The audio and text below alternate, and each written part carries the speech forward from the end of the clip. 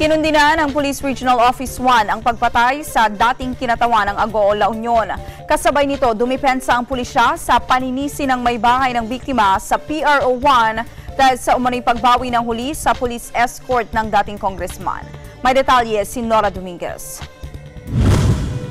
Mariing tunundina ng liderato ng Police Regional Office 1 ang brutal na pagkakapas lang kay dating Congressman Eufranio Erigel ng Aguola Union. Sinagot ni Police Chief Superintendent Romulo Sapitola, Regional Director ng Police Regional Office 1 ang aligasyon ni Congresswoman Sandra Erigel sa privilege speech nito sa Kongreso kung saan ay isinisi sa liderato ng Pro 1 ang pagkamatay ng kanyang asawa matapos umanong bawiin ang mga police security nito.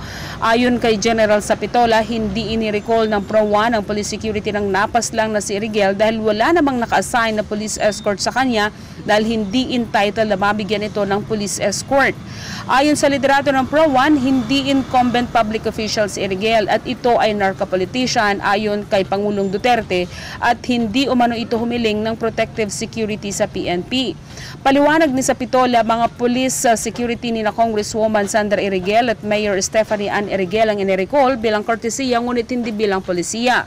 Ang polisiya ay ang Police Security and Protection Group ng PNP ang in charge sa pagkakalob ng security protection sa mga VIP at mga kwalipikadong personalidad.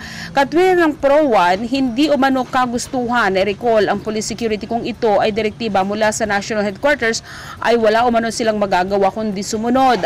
Kinunang umano ang bilang ng mga police personnel na i-deploy para magbantay sa seguridad sa isasagawang barangay at SK elections kaya inirecall ang mga police security ng mag-inang Erigel.